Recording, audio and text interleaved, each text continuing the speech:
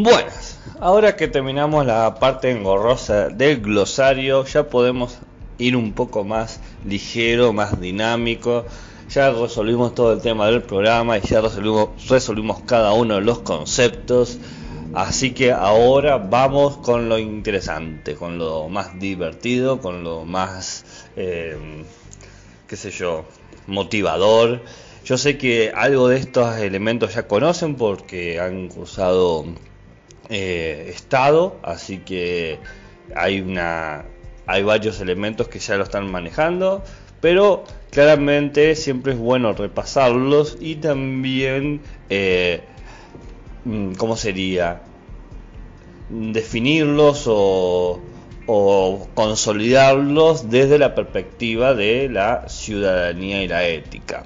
Así que empecemos por el principio claramente tenemos que partir nosotros de lo que es un límite histórico, que es un punto, un, quiebre. Nosotros podemos ir hasta un punto en el pasado, porque ya después todo se vuelve conjetura, hipótesis, imaginación o mitos.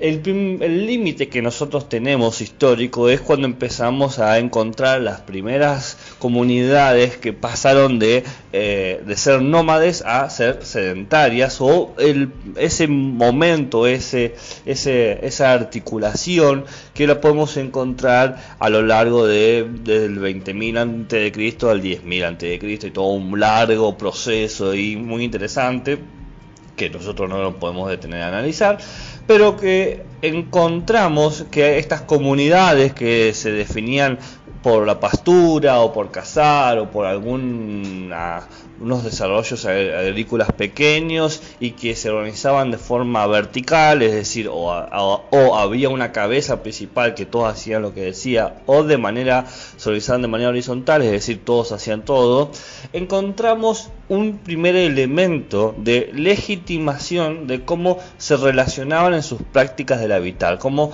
cómo establecían cómo era la correcta convivencia y relaciones y los vínculos entre uno y otro.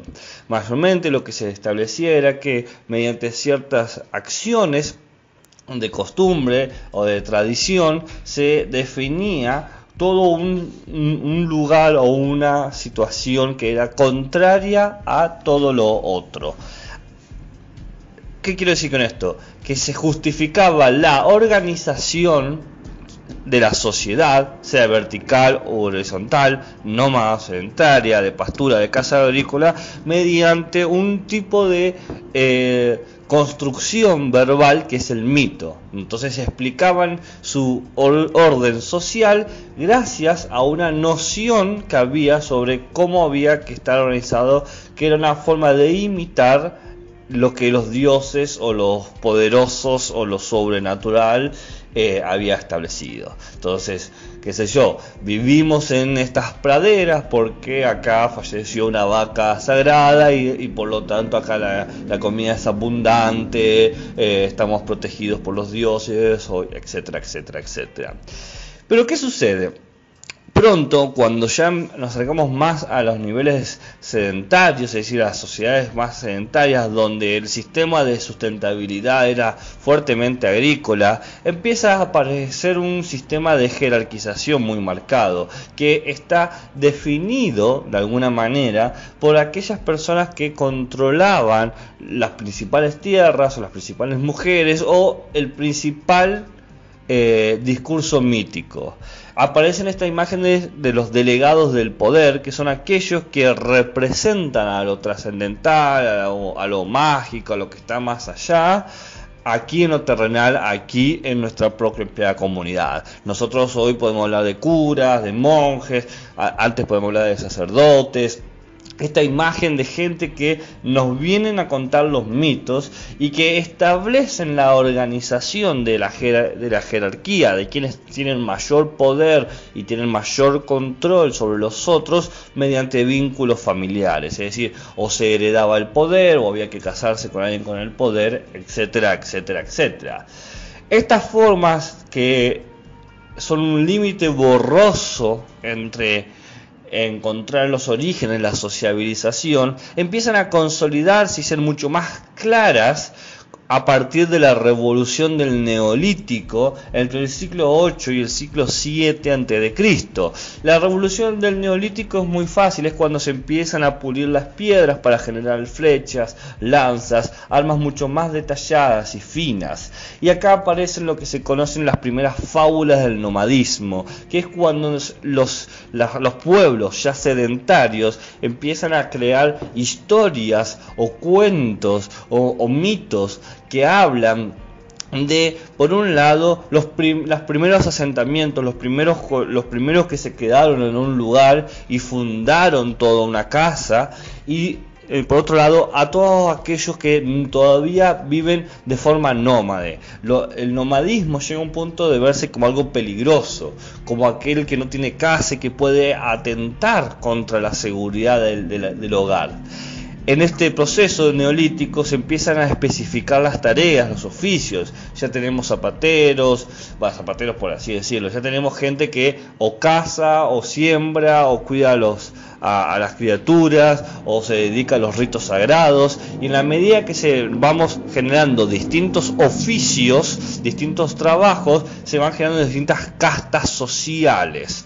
En este proceso de generar castas sociales y en el proceso de que se van estableciendo fábulas, se empieza a establecer una identidad con el territorio, el pueblo se identifica con el lugar donde vive, este lugar es nuestro, aquí hemos estado y se da lo que se llama una legitimidad mimética. mimética viene de mimesis, que es copia. Entonces, se legitima toda la organización porque todos copiamos. Decimos, mis, mis, padres hicieron esto, mis abuelos hicieron esto, o sea, yo copio lo que se hizo en el pasado. Y a su vez, esta cuestión del linaje de hacer lo que se hizo en el pasado, de lo que se estuvo haciendo hace mucho tiempo en este territorio, empieza a tener un carácter sagrado porque siempre ha sido así, porque debe ser así, porque los dioses han dicho así, ese es el caminito, los dioses han dicho que es así Debe ser así y siempre ha sido así. Y aquellos que logran interpretar a los dioses, que son los sacerdotes, empiezan a establecer cuáles son las normas. Acá empiezan a aparecer la idea de ley o de regla o de condiciones que se deben cumplir para poder mantener la organización social. Todavía no estamos hablando de ciudadanía ni Estado, estamos hablando de las comunidades que se van de alguna manera especificando según distintos trabajos en el territorio. Pasan los años, el siguiente ciclo, en la baja Mesopotamia, bien, donde tenemos la caída de los ríos, Tigres y Éufrates en el siglo 6 a.C. y el siglo 5 a.C., se empieza a establecer un nuevo, una nueva forma de comercio que genera que una explosión de la población humana empieza a crecer mucho más rápido y empiezan a ver las primeras ciudades-estado, mediante el sistema de canales y mediante el hecho de que las ciudades comercian entre sí. ¿Por qué hablo de ciudades-estado? Porque eran ciudades del tamaño de una ciudad, como ustedes se pueden imaginar, pero cada ciudad era un país. Entonces teníamos Atenas, Egipto, bien. entonces en vez de ser San Juan, provincia de eh, ciudad capital de, de una provincia de Argentina, sería San Juan, el país San Juan. Bien, entonces eran estados, porque tenían su propia autonomía, no dependían de nadie más, eran independientes y eran autosustentables, podían producir los alimentos, el ejército, la casa, sus historias, todo lo que sea necesario para mantener al funcionamiento de la ciudad y de la organización social.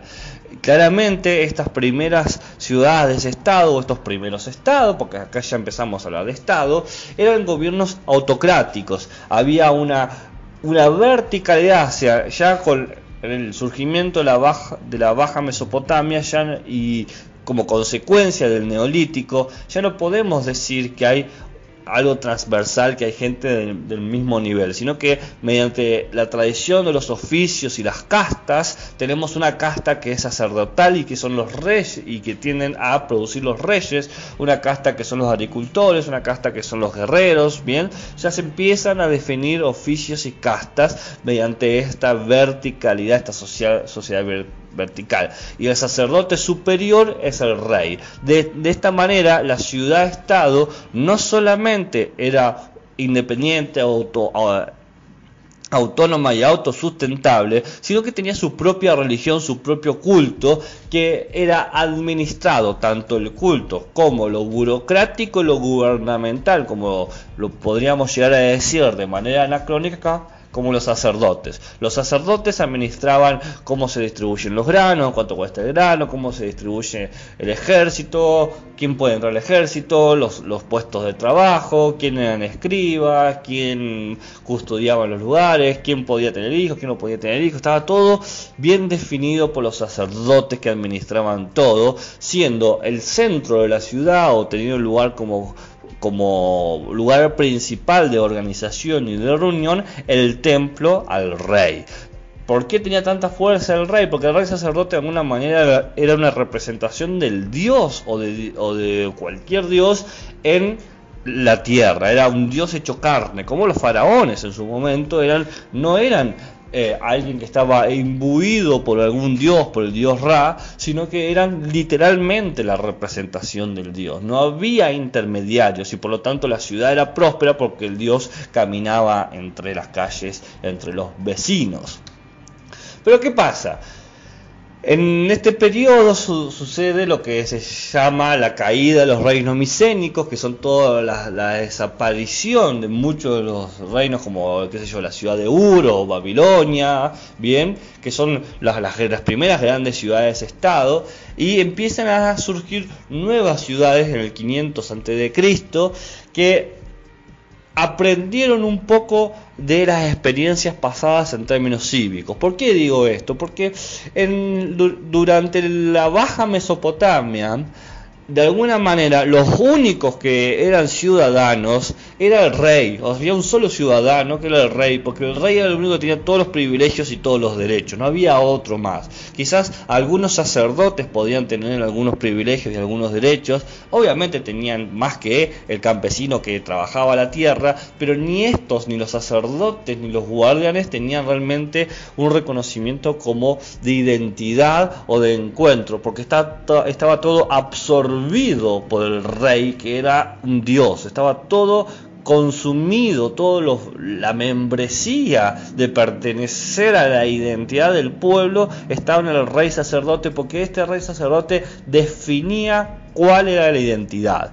Pero en el 500 de Cristo, con la crisis de estos reinos que desaparecen, bien, y se aparecen otros como Atenas o Esparta, encontramos que se aprende un poco de esta experiencia y se expande la ciudadanía no solamente al rey, sino a las familias de los sacerdotes. Y acá en Grecia se empieza a crear un concepto que es aristoi. Los ciudadanos son los aristoi. Aristoi significa los buenos, los mejores. Es decir, son aquellos que controlan o que tienen los medios de trabajo de producción. Bien, los aristoi son todo este grupo de familias más adineradas o terratenientes o que tienen mayor poder. Está como concentrada la ciudadanía a un grupo de familias muy pequeñas y son de alguna manera ya reconocidos como los primeros ciudadanos. Bien, los aristoi son los primeros ciudadanos. Sí, no estaba expandido a todos los individuos de la sociedad. Eso que, que claro de ya, serán unas 500 personas, unas 300 personas como mucho. Pero ya tenemos una expansión de 1 a 300, es un cambio radical. Estos primeros ciudadanos son llamados en griego antiguo demos, que es pueblo. Fíjense que la idea de pueblo tiene que ver justamente con esta nación etnia, con esta cuestión de recobrar o mantener ciertas tradiciones, ciertos valores, etcétera. En estos, en en estos modelos de ciudades propios de las ciudades eh, que se pensaron en la Grecia antigua, el tipo de gobierno era aristocrático, aristoi Aristoi más Kratos, Aristoi es bueno mejores, Kratos es gobierno, genera la palabra aristocracia o aristocrático, que el gobierno aristocrático es el gobierno de los mejores, básicamente. Claramente, ¿por qué se llaman los mejores? Y porque son los más poderosos, son los que tienen los privilegios, etc. En este concepto, la ciudad está habitada por ciudadanos totalmente libres, que son todo este conjunto de Aristóteles, que de vuelta, repito, no son más de 300 a 500 personas, y para ser más claro, eran, por lo menos en Atenas, eran los varones, eh, varones de creo que de más de 30 años, entonces ya tenemos como, como una, una condición muy particular. Y estas familias, estas familias se justificaban su poder o sus privilegios mediante un concepto de un ancestro divino o semidivino, una leyenda. Un ejemplo, para que se den cuenta, eh, la familia del filósofo Platón decía que eran descendientes directos de, eh, de, Poseidón, del dios del mar, ¿no? Era, como una... su aristocracia estaba justificada porque de alguna manera ellos descendían del dios del mar. De esta manera se establece una organización de la ciudad en términos de, bueno, se beneficia a los aristocráticos y la ley funciona como una protección y un respaldo de estos privilegios. ¿Qué se entendía acá por lo político? Me van a preguntar ustedes. Decir, bueno, ¿qué, qué era, lo que la gente podía hacer? Y bueno, la gente podía pertenecer a la ciudad, era ciudadanos, podía organizarse, podía generar distintos vínculos y podía generar propuestas de leyes o de guerra o lo que sea, si cumplía una membresía divina orgánica. Divina era que tenía que de alguna manera demostrar para ellos tener un ancestro divino o semidivino, como Platón viene de las familias de Poseidón, y orgánica tiene que decir que vos tenías que haber nacido en esa ciudad. Porque si vos eras una familia de aristócratas, pero tu hijo nacía afuera de la ciudad, tu hijo no era considerado un natural o un originario de la ciudad y quedaba fuera de la esfera de los ciudadanos. Ahora veamos un poco, ya que tenemos la definición o el, primer encuentro de la idea de ciudadanía y de Estado, cómo vamos, cómo va evolucionando el concepto de Estado y ciudadanía en base a esto último que acabo de decir, la conexión natural o artificial con la ciudad. Empecemos por el principio, con la idea del ius naturalismo, ius, ius naturalismo es una palabra en latín que ius significa ley, naturalismo natural, entonces sería ley natural y que refiere que refiere al hecho de que se creía en estas primeras ciudades-estado griegas, es decir, propias del siglo V a.C., que la ley era algo natural, que ya estaba escrito en, en, la en la forma en que es el humano, anacrónicamente diríamos en la genética del humano, en la biología del humano ya estaba escrita las leyes, que naturalmente nos organizábamos y que naturalmente se establecían las leyes. Entonces, la primera concepción del dios naturalismo viene de esta idea de las primeras ciudades-estado griegas, bien, como ya dije, Atenas, Esparta, etcétera, que sería como la ley de la ciudad, bien, porque le, eh, ustedes van a ver en la filmina que dice polis. Bueno, polis es la forma en que los griegos llamaban a la ciudad-estado. Ciudad-estado igual polis, polis igual ciudad-estado. Y tenía estas características. Primero, que todos ciudadanos, estos 300, 500 que yo hablaba, son independientes, ¿bien? Y la ley es independiente a todos ellos, ¿bien? La ley no está dirigida para uno o está dirigida a favor de otros, sino que de alguna manera es omnipotente y todos los individuos están siendo atravesados por esta ley, Bien, esta ley que los atraviesa está construida para, para protegerlos, para definirlos, para establecer eh, los valores del el Estado y la comunidad. Una cosa que hay que entender es que para los primeros ciudadanos lo que más importaba no era el hecho de que vos eras libre, eras libre, ¿no? Como estos 300, 500 personas que yo te digo, eras libre. Pero no importaba eso, lo que más importaba era cómo vos te integrabas a la comunidad, a la ciudad-estado. Y el gobernante era un rey electo, no era una persona que por herencia o por, por, una, por una tradición estaba en ese lugar. No, era un rey elegido, pero cuando era rey era, era un rey todopoderoso hasta que terminaba su mandato. Era un rey elegido cuyo fin u oficio era poder eh, determinar qué se iba a hacer, por ejemplo, en tiempos de guerra o en tiempos de construcción. Era como un administrador general. Ahora bien, la ley es de la ciudad, no de los individuos, por lo tanto la ley es independiente a todo individuo, pero como todos viven dentro de la ciudad, todos se ven interpelados, atravesados, definidos por esa ley. ¿Y qué ley habrá? Me dirán ustedes. Bueno, había como tres principios legales. Primero, una igualdad en términos cívicos, Bien, somos iguales como ciudadanos. Si vos eras un ciudadano ateniense, eres igual a mí no, vos no tenías más poder que yo, por más que vos seas el rey y yo sea, qué sé yo, eh, un soldado. Por otro lado, todos tenían el derecho a ser oídos, es decir, si yo quiero ah, eh, opinar o expresar mi opinión, tengo el derecho de ser escuchado. Y en tercer lugar, todos tenían el derecho a la libertad. Entonces tenemos la isonomía, que era la, ley que se llamaba isonomía, era la igualdad cívica. La isegoría era la ley que hablaba del derecho a ser oído. Y la eleuteria era el derecho a la libertad. Tres pilares de la igualdad del Estado que garantizaba que todos los ciudadanos tuviesen estos derechos, estos privilegios sobre todo el grupo o sobre toda la sociedad o los individuos. Isonomía, I-S-O-N-O-M-I-A, acento la A, es la igualdad cívica. Isegoría, I-S-E-G-O-R-I-A,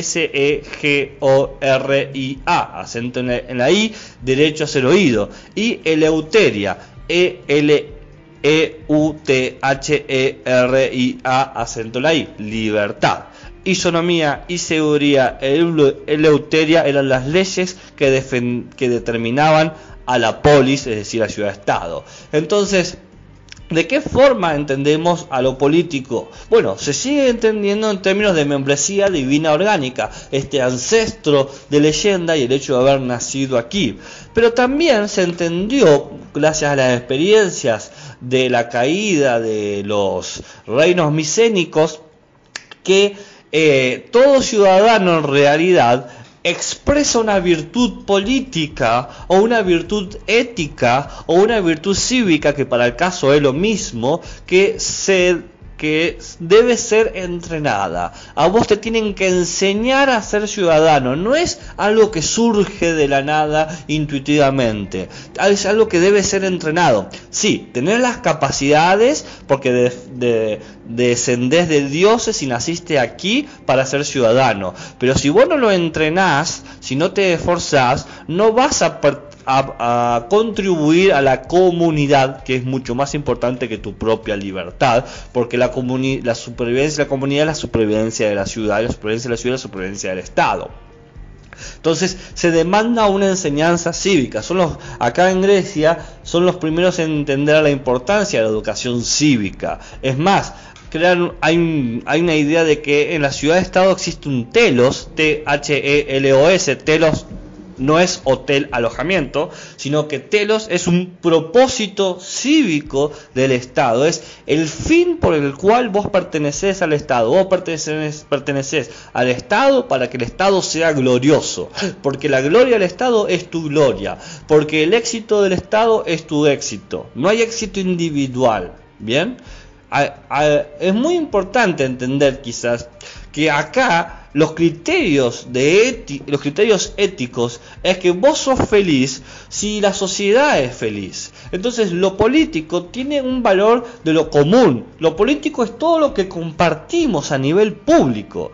Y la política no está destinada a una casta o a un oficio. De alguna manera sí está destinada a una casta porque todos los que son aristócratas lo hacen. Pero luego que pasamos a ese nivel, todos los aristócratas, estos 300, 500 los que yo estoy hablando, entienden que la actividad política de administración tiene que ver con la vida común Y esto se organiza mediante el lenguaje, mediante la palabra.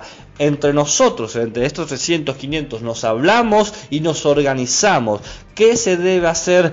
¿Cuánto tiempo hay que hacerlo? ¿Cómo hay que hacerlo?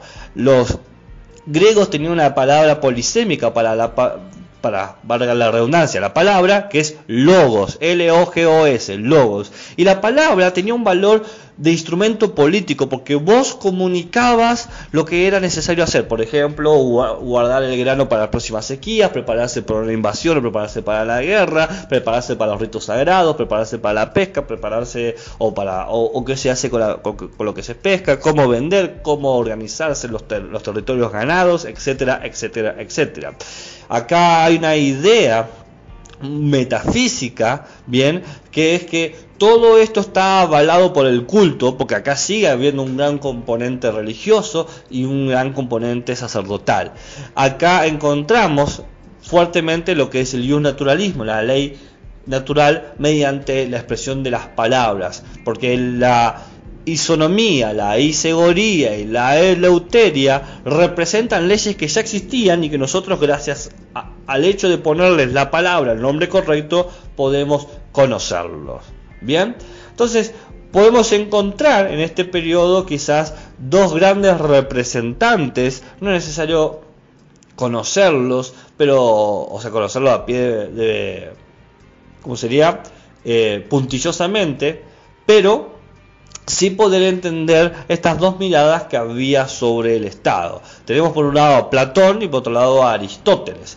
Fíjense que Platón, como maestro de Aristóteles, nace antes, obviamente. Platón nace en el 424 del 347 a.C. Y, y muere en el 347 a.C. Y Aristóteles nace en el 384 y muere en el 322 a.C. Es decir, más o menos 25 años después de Platón. A ver, para Platón, la ciudad-estado se opone a la naturaleza, al mundo exterior. El ciudadano tiene que aprender a ordenar, a cultivar la prudencia, la frónesis, y por lo tanto para eso debe saber cómo desarrollar las leyes que son eternas y dadas por los dioses. De ahí el famoso lema que su maestro Sócrates proponía, conócete a ti mismo. Y el Estado está ordenado de una forma orgánica, como si nuestro cuerpo se inclinara a este orden y este orden en la medida que lo cumplimos lo vamos conociendo. Según Platón, nosotros nuestra naturaleza está dividida en lo racional, en lo irascible y en lo apetecible. Por lo tanto, la sociedad debe, debe dividirse siguiendo esa misma lógica. Los aristócratas son los racionales, los filósofos, los irascibles son los guerreros y los apetecibles son los productores. La, la, idea es que expulsar toda posibilidad de conflicto. El conflicto no es algo que exista por naturaleza en las ciudades-estado, dice Platón. Lo que prima la ciudad-estado es la armonía. Todo conflicto es cuando alguien no sigue la prudencia. ¿Bien? Acá se entiende que la ley es propio de la moral comunitaria, porque la política es el arte del orden y por lo tanto hay que mantener este nomos, esta ley ordenada. En oposición, Aristóteles no entiende que o no, no eh, ¿cómo sería la palabra? No sigue la idea de Platón de que es natural el surgimiento de la, de la polis o que la polis se opone a la naturaleza, sino que él dice, en, en base a un estudio histórico de 158 ciudades-estados, en la constitución de 158 ciudades-estado, llega a la conclusión que la ciudad es el efecto de un impulso biológico, pero también una cuestión artística, como las abejas. Las abejas tienen impulso biológico de vivir en colmenas, pero las colmenas las construyen las abejas, pero ese orden está perfecto. La colmena está dado por una estructura original. Por eso dice que el ciudadano es en realidad un animal político, un zoón politicón. O sea, somos animales cuya característica es la organización social cívica. Por lo tanto, lo que hay que hacer es construir leyes en base a nuestra práctica de la mayoría, es decir, cómo la mayoría define las leyes y discutirlas para ver qué ley es la más racional y la más moralmente justa. El Estado acá claramente es aristócrata y se busca que los hombres también sean prudentes, bien, pero no para garantizar el orden, sino para garantizar una media, un equilibrio. Para Aristóteles el conflicto es parte de la sociedad, no se puede escapar. Por lo tanto hay que buscar la solución entre los dos puntos.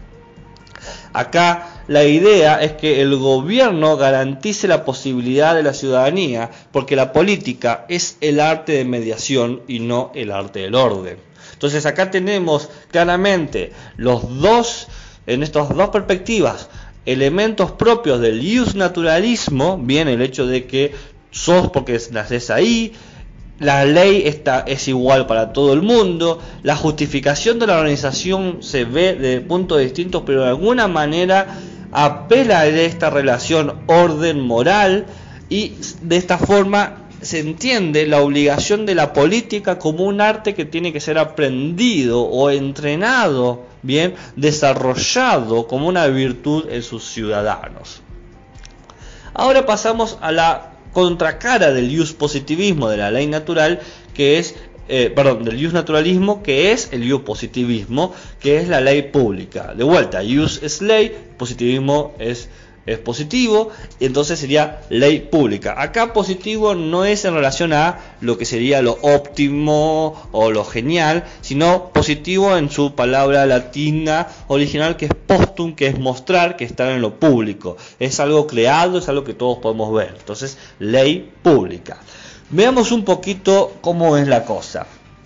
El, concepto de use positivismo surge en la historia romana. Pero eh, el imperio romano o la historia de Roma es extremadamente larga y toma muchos momentos. Entonces, habría que ver, en primer lugar, un momento donde Roma respetaba la estructura que yo hablaba del ius naturalismo propio de las ciudades-estado, eh, que sería más o menos entre 750 y 510 de Cristo, que tenemos la famosa Liga de los Siete Montes, las 35 tribus, ¿no?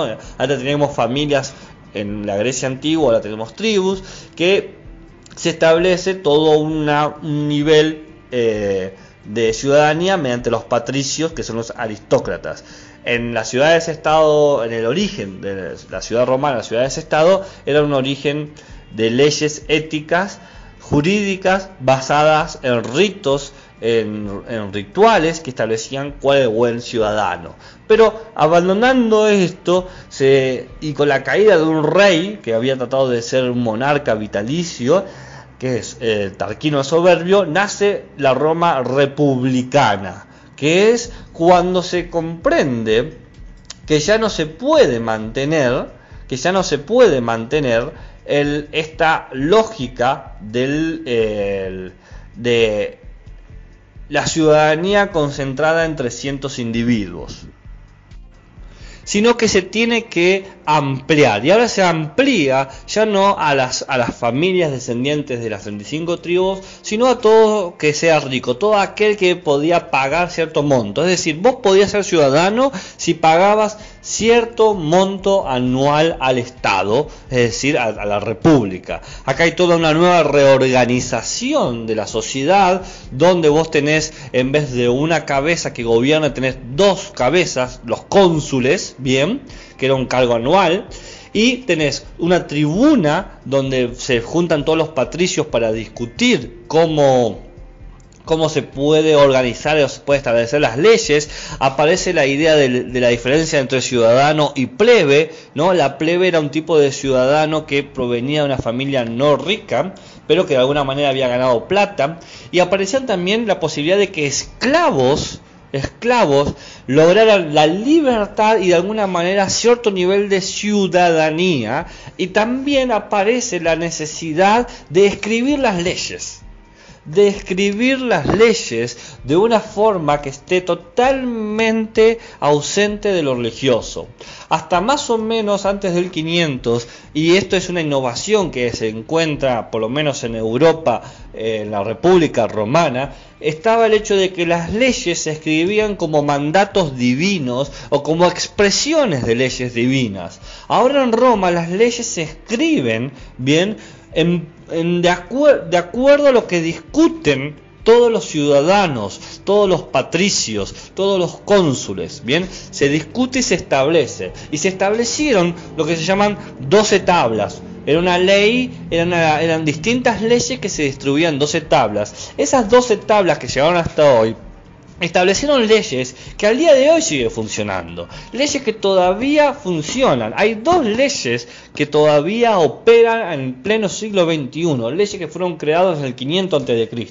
Una es el habeas corpus, que es la necesidad de que vos cuando querés acusar a alguien o que o, querés hacer un juicio a alguien, necesitas el cuerpo de esa persona para enjuiciarlo, no puedes hacer un juicio en ausencia.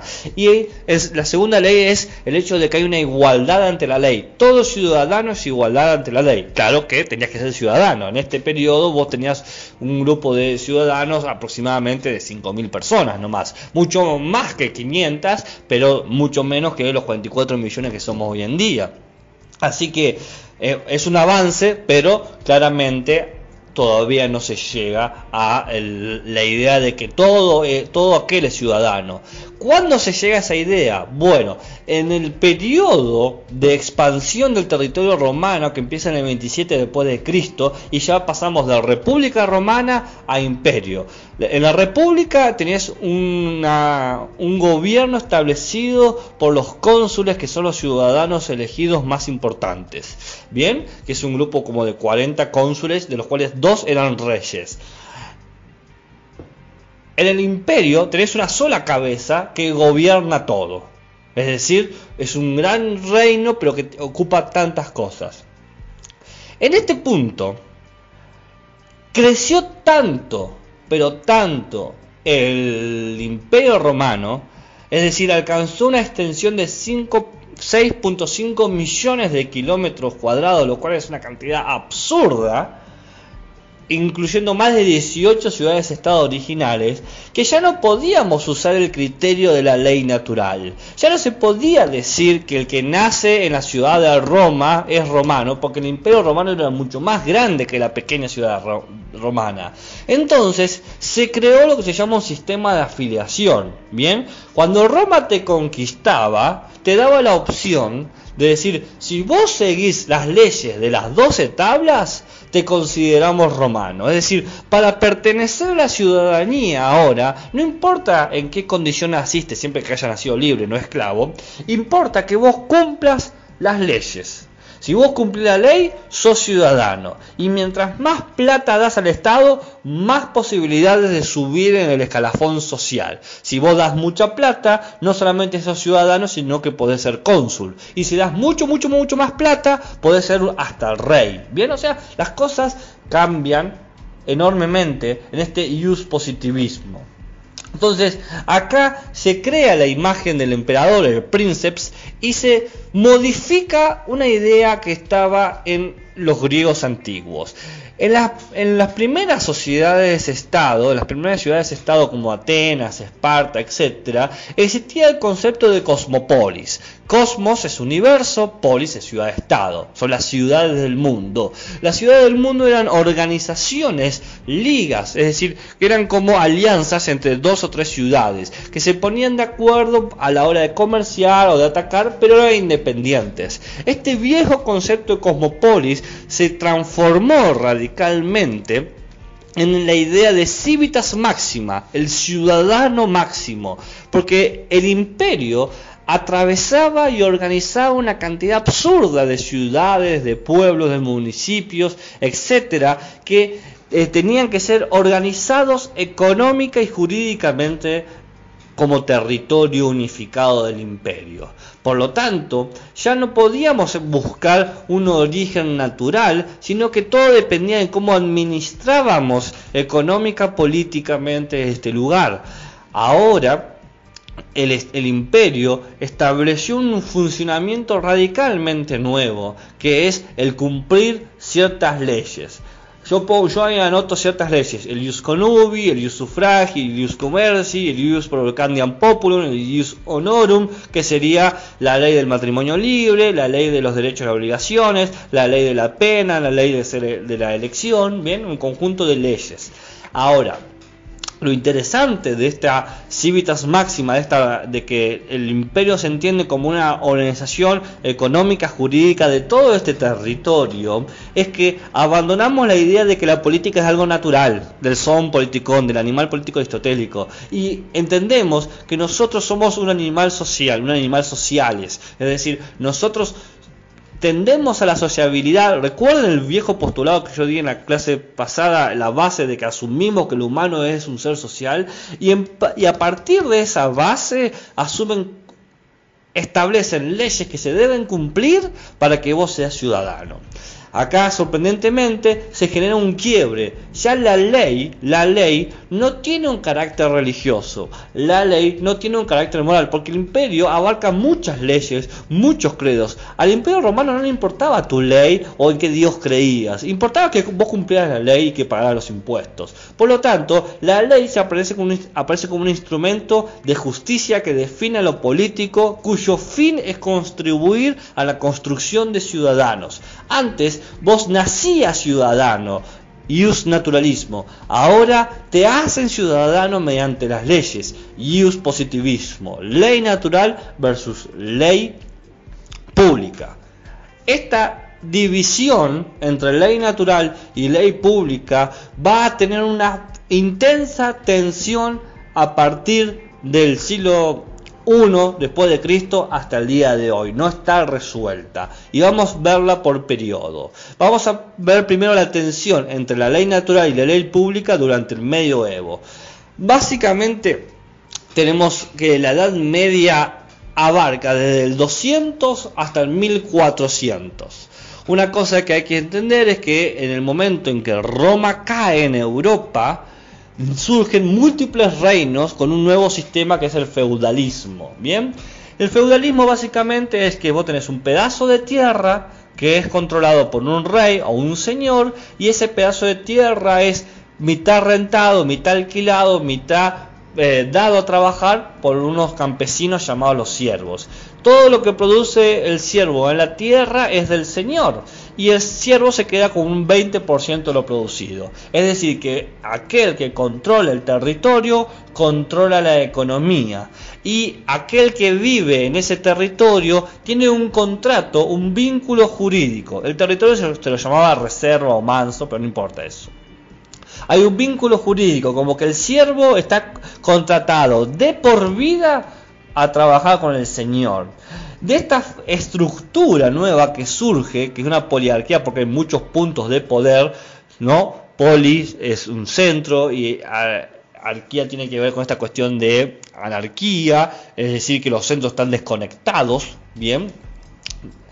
Aparece una nueva definición de la organización social en donde impacta en lo ético, en lo político y en lo ontológico, es decir, en cómo entendemos la existencia. Porque en todo este proceso de la Edad Media surge también la impronta del cristianismo en Europa. Es decir, que todo se define, siendo siervos o señores, por la teleología, por una idea de que estamos destinados a ser felices, quizás no en esta vida, sino en la otra. Es decir, vos nacés con un fin. Es decir, que de alguna manera se recuperan los viejos pensamientos de la ley natural de las primeras ciudades-estado durante los reinos micénicos, que hablaba del hecho de que vos nacías para contribuir a tu comunidad. Bueno, los siervos nacían para contribuir a sus señores, porque de esa manera se congraciaban con Dios.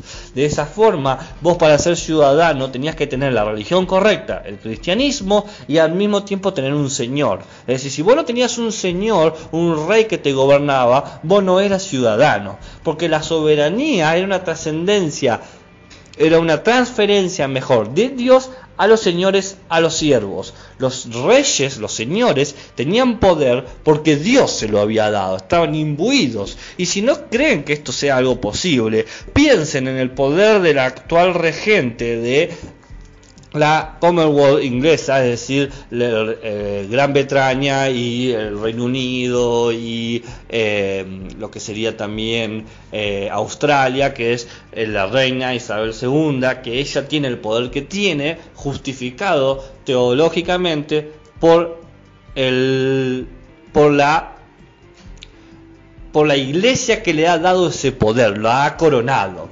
De esta forma encontramos una cuestión entre una razón divina y la economía civil que genera microestados. Cada reino era un estado en sí mismo. Era mucho más grande que una ciudad-estado, pero mucho más pequeño que un imperio. Lo que generó una pequeña paradoja, porque al mismo tiempo te gobernaba el rey, pero estaba también tenía poder el sacerdote. Había un estado dentro de un estado. El estado era esta organización, siervos señores, que mediante un vínculo jurídico, económico, el siervo tenía que trabajar forzosamente para el Señor y darle el 80% de su producción al Señor, pero también estaba el hecho de que vos tenías que ser cristiano. Vos no podías ser siervo si no eras cristiano. Entonces, habían dos formas de dominarte. Un estado dentro de un estado. Es decir, había un principio, donde hay sociedad religiosa hay derecho divino. En esta nueva forma de entender la ciudadanía aparece una unión entre el ius naturalismo y el ius positivismo. Lo natural es que vos descendías de familias religiosas, bien, en este caso cristianismo, pero ya voy a hablar del islamismo, bien. Eh, y no solamente tenías esa ley natural, sino que también tenías esa ley positiva. Vos tenías que tener este contrato jurídico mediante un territorio. ¿Se dan cuenta? O sea, para hacerlo más sencillo, vos para ser ciudadano tenías que cumplir dos, dos condiciones. Una natural, bien, y otra pública. La natural era que vos tendrías que practicar una religión y descender de familias que tenían esa religión. Y la pública tenías que tener un contrato con tu rey un papel que te legitimaba tu lugar en la tierra. Si no la tenías, te podían matar. No había mucha prisión que, hay, que, que se pueda discutir. Pero si tenías todo eso, tenías derechos divinos. Por ejemplo, el señor, el rey, te tenía que proteger durante la guerra, tenía que garantizarte la comida durante la hambruna. Bien, había todo un contrato. Entonces, donde hay sociedad religiosa, hay derecho divino. Y tenemos dos modelos de, sociedades, de estados y ciudadanos eh, en este periodo. Un modelo islámico y un modelo cristiano. Básicamente para oponer, ambos basan las leyes ¿no? o justifican sus leyes en escritos que serían religiosos. El Islam en el Corán y en la colección Suma y ocupaba todos los, reinos del Mediterráneo y el norte de África. Y el cristiano que tiene que ver con todo el centro de Europa y tenía como escritos básicos los evangelios, las epístolas y el Nuevo Testamento. Por un lado, en el modelo islámico, la comunidad colectiva se entendía como la expresión de fuerzas que tenían que garantizar la, continuidad del Estado. Si el colectivo de individuos está vivo, el, colectivo de Estado está vivo. Mientras que en el modelo cristiano se busca defender la dignidad y la igualdad de los individuos. Todos son hijos de Dios, todos tienen la dignidad de Dios. En el modelo islámico el ciudadano tiene un fin religioso. En el modelo cristiano el ciudadano tiene una hipoteca divina, porque todo lo que tenés vos te lo ha dado Dios. Mientras que en el modelo islámico vos tenés que cumplir cinco valores. Caridad, virtud, compasión, interés común y buenas intenciones. En el modelo islámico la ley natural es la que nos ha dado Alá. Alá es Dios y Mahoma su profeta. En el modelo cristiano, la ley natural es el derecho canónico. Hablamos de la ciudad de Dios, el derecho común y los derechos que estableció la Inquisición. Hay un derecho que está establecido por la Iglesia. En el modelo islámico, la ley pública, el dios naturalismo, está definido por la ciudad. La ciudad es un espacio que tiene una jurisdicción con distintos oficios y distintas prácticas religiosas. En el modelo cristiano, la ley natural viene en lo que se llamaba unos libros que se llama derecho estatutario, el derecho del Estado, o en latín lex municipalis, la ley de los municipios, donde establecía los gremios de trabajo, por ejemplo, el gremio de panaderos, el gremio de carpinteros, cómo funcionaba el mercado y cómo se comunicaban los reinos. En, en el modelo islámico, la ley, bien, proviene de lo que se llamaba la yajada, y la yihad. La yihad es la fe y la yihad es la guerra santa. Para el modelo islámico, uno tiene que mantener una guerra santa, una, una guerra de conversión constante hacia los otros. Mientras, es decir, mientras que en el modelo cristiano hay una ley vengativa normativa, que se llamaba la ley de las dos espadas, pero no importa acá que es hacer el bien a los enemigos y hacer el mal a los enemigos. Mientras que en el modelo islámico vos tenés la comunidad Uma, donde se organizan todos los vecinos, los Madania, en una ciudad, Al-Madina, en, en el modelo cristiano, no importa en qué ciudad estás, somos todos amigos siempre que cumplemos el derecho estatutario, es decir, el jus positivismo y el derecho canónico, el jus naturalismo, y todo aquel que no cumpla eso es un enemigo y debe ser castigado mayormente con la muerte y la tortura. En el modelo islámico, los dos estados se representaban por el califa y el sultán. El califa representaba el, el, poder espiritual y el sultán el poder material. En el modelo cristiano, vos tenés el gobierno espiritual por la iglesia, bien, y el gobierno material por los señores y los plebeyos. En el modelo islámico, en teoría, no se crean leyes, solamente se aplica lo que está escrito en el Corán. En el modelo cristiano, se crean leyes para imitar a la ciudad de Dios. Pausa. Les acabo de tirar en 20 minutos tres modelos de ciudadanía distintos que sintetizaron más de 2000 años de historia y puede que se genere un batute en la cabeza de ustedes. Entonces, vamos a hacer una pequeña síntesis antes de continuar.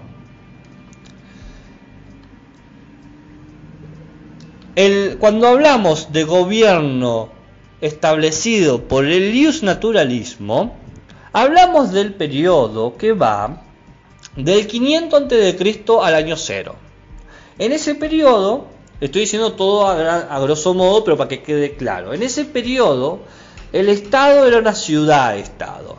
Esta ciudad-estado establecía que vos para ser ciudadano tenías que nacer ahí. Es decir, vos tenías que ser natural de ese lugar. Por eso era ley natural. Si vos nacías ahí, te ofrecían o tenías la garantía de acceder a un conjunto de leyes que es como la, ley de la igualdad, la ley de ser oído y la libertad. ¿Bien? Entonces, siempre que vos nazcas en el, en el Estado, serás protegido por el Estado. Y tu función como ciudadano no es tu felicidad individual, sino cómo contribuís al Estado. Para Platón, para contribuir era mantener el orden. Para Aristóteles es para encontrar el equilibrio. Luego tenemos que surge el imperio romano, que es tan grande este imperio, bien, que es imposible hacer esto de la ley natural. Entonces crean una nueva comprensión de la ley para garantizar la ciudadanía, que es el jus positivismo, la ley pública. Es decir, Siempre que vos cumplas las leyes, no importa si naciste en la ciudad romana o naciste en Cartagena, lo que importa es que vos cumplas las leyes y pagues los impuestos. Si haces estas dos cosas, vas a tener todos los, recursos propios del ciudadano, que es un poco como el día de hoy. Vos sos ciudadano, no necesariamente porque hayas nacido aquí, sino porque cumplís ciertas leyes, pero también porque naciste aquí. Por nacer acá te permiten cumplir ciertas leyes. Y ahí vamos a la primera tensión que hay, que es en la edad medieval. Como en el medioevo el imperio se rompe y se rompe la organización de todo este territorio tan vasto de 6 millones de kilómetros cuadrados y nace un nuevo sistema económico por la revolución agrícola, que está en el texto que se puede profundizar, o si me preguntan la podemos charlar, lo que, se, lo que pasa en el feudalismo es que se cambia la manera de entender las cosas. Mientras que en, el ius naturalismo, en la época griega, Estado y religión estaban fusionados y te lo daban todo por derecho de nacimiento. Al nacer en la ciudad vos tenías las leyes y también tenías que respetar los cultos, los ritos y las religiones del lugar. Eso por un lado. Y cuando el imperio romano funcionaba, no importaba tu religión, religión y Estado estaba separado. Por lo tanto, siempre que cumplas las leyes y pagues los impuestos, está todo bien. en la Edad Media se vuelve a fusionar religión y Estado, se vuelve a juntar. Por eso se dice que hay un Estado dentro de un Estado, porque el Estado religioso domina tus almas y el Estado físico domina tu cuerpo. Pero vos tenés que, para ser ciudadano, tener la religión correcta y tener que seguir los, criterios públicos correctos. Es decir, si vos vivís en, una ciudad islámica, por ejemplo en el Mediterráneo o en el norte de África, tenés que saber leer el Corán, tenés que respetar toda esta ley, Alá es Dios y Mahoma su profeta, pero también tenés que respetar la organización urbana y jurídica de las ciudades. Si vos sos cristiano, tenés que conocer los evangelios, los epístolas, el Nuevo Testamento, tenés que tener eh, esa religión si sos del norte o el centro de Europa, y al mismo tiempo tenés que eh, respetar los derechos de los municipios, los derechos del mercado, los derechos de los gremios, etcétera. Hay una tensión aquí, porque uh, los que gobernaban el alma querían gobernar el cuerpo, los que gobernaban el cuerpo querían gobernar el alma, el alma. Todo esto eran requisitos necesarios para ser ciudadano. Quizás hoy es difícil de entender porque tenemos más de 500 años de distancia, o más de 2000 años de distancia, o más de 1500 años de distancia con respecto a estos modelos cívicos.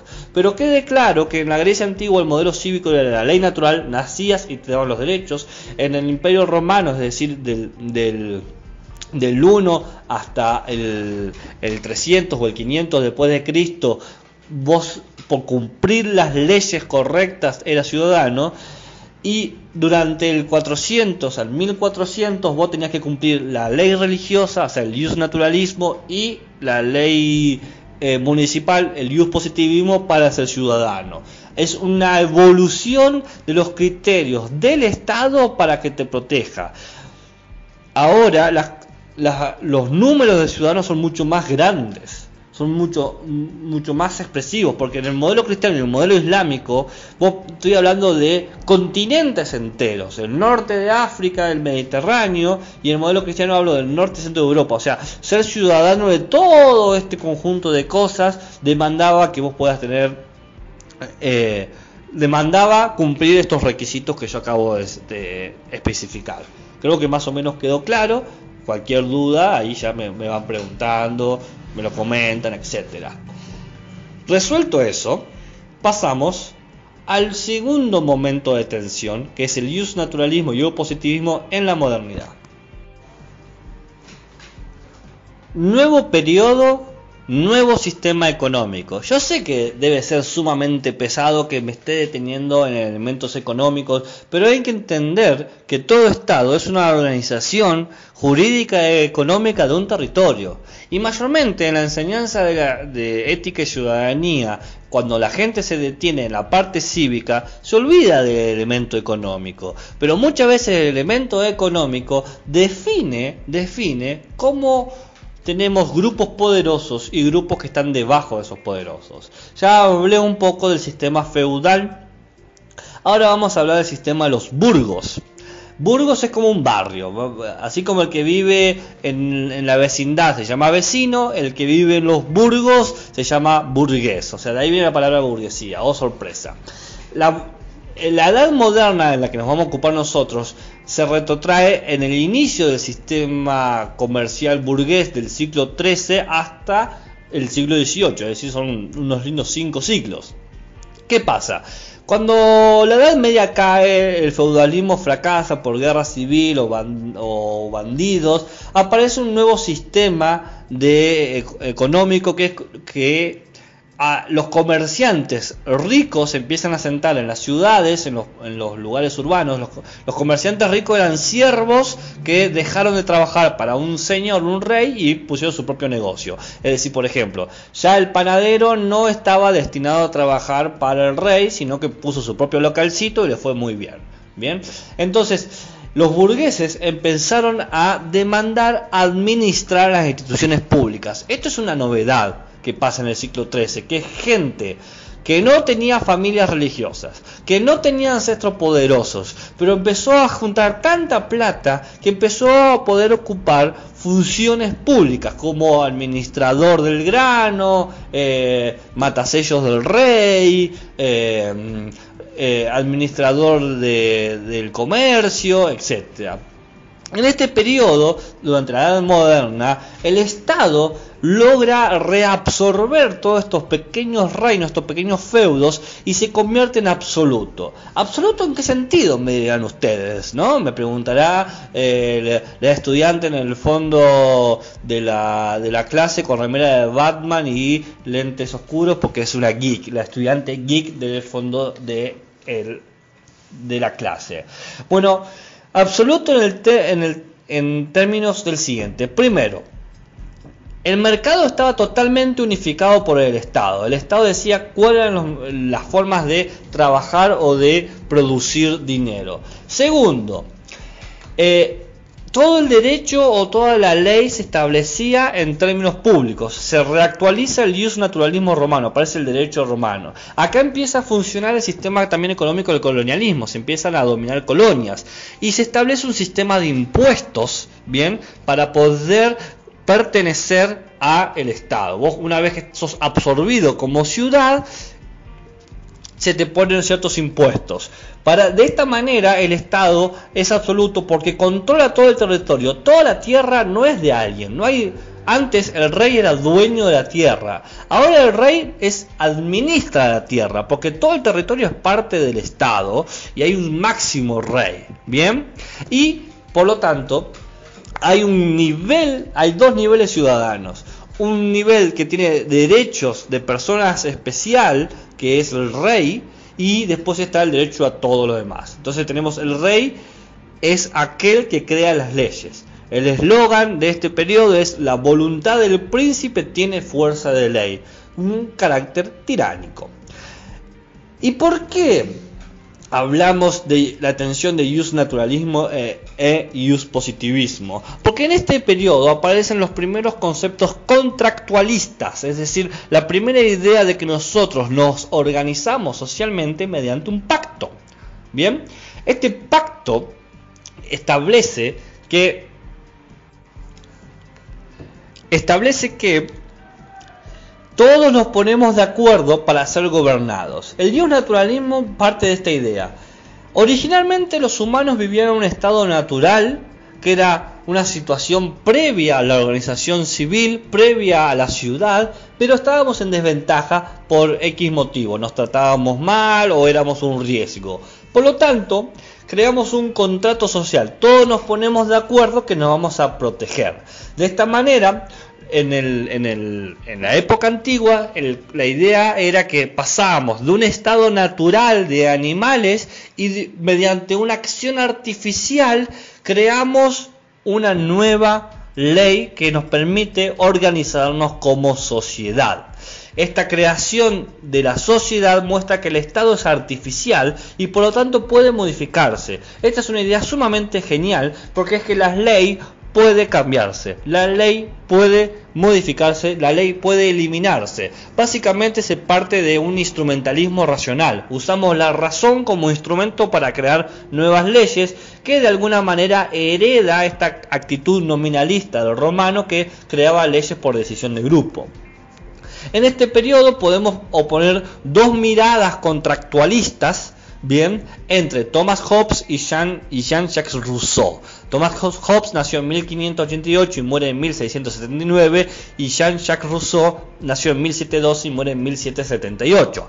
Ambos entendían que había una ley natural original pero que tenemos que escapar de esa naturaleza o volver a esa naturaleza, dependiendo a quién le preguntes, y que mediante un contrato creamos, mediante eh, una acción instrumental, una ley positiva, creamos la sociedad.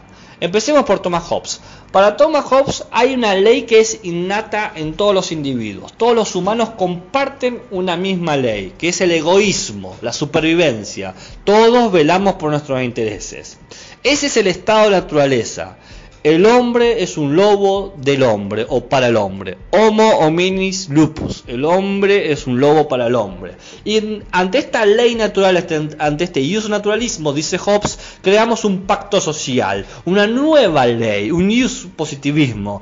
Hacemos un pacto de no agresión. No vamos a atacarnos entre nosotros. Yo te puedo matar, vos me podés matar a mí, pero elegimos no matarnos para sobrevivir. Y damos todo este poder de quitar la vida a un gobernante. El gobernante ahora tiene todo el poder. Entonces, la libertad que se crea esta ley es la libertad negativa, que se llama freedom for action, la libertad de acción, el silencio de ley. Vos podés hacer todo lo que la ley no prohíbe.